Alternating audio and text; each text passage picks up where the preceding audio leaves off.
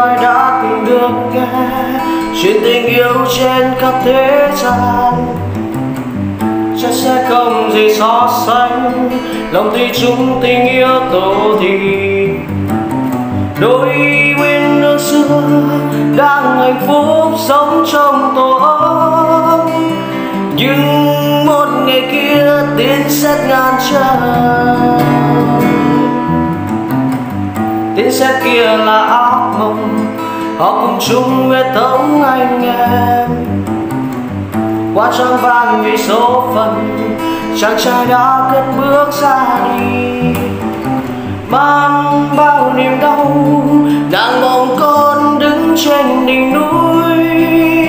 Trong